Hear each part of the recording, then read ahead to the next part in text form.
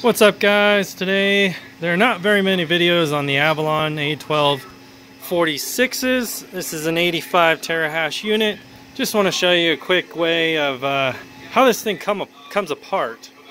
Uh, in case you have to change out the power supply. This is actually a brand new unit that uh, we were going to be shipping out to somebody and it arrived with a power supply unit that didn't work. So we're replacing it with a brand new power supply that they sent.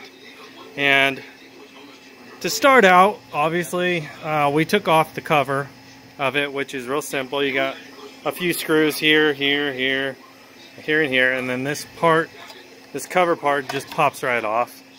And you don't necessarily need to take that off, but we had to to, to see what happened. And what happened was there was a fuse down there that was cracked somehow, and and so that's why it wasn't working.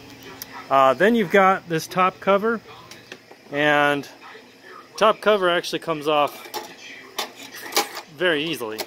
I mean you've got two screws on top of it and then it slides this way. You literally just slide it off. Sometimes it takes a little bit of like wiggling and, and stuff but that comes off and then you've got four screws there which we already took out and you've got a uh, power plug that connects here to over here. But you take out these four screws and then it's very simple. There's one little tab thing here on the side.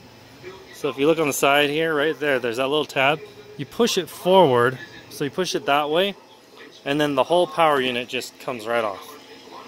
It's very, very simple to replace. And, and so you pull that off, you take your new one, and the new one has these little slots and you just literally just push it back onto it. Very easy. If you have any questions, uh, send a comment down below. And also, I guess I should mention the way to take out the hash boards on this is very, very similar to the ASICs, to the Antminers.